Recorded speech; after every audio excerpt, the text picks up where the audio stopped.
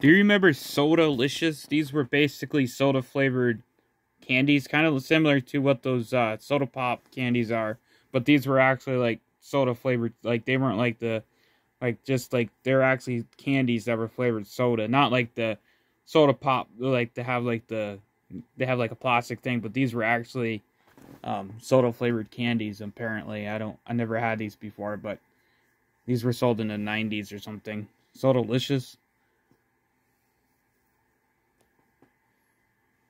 Never had these.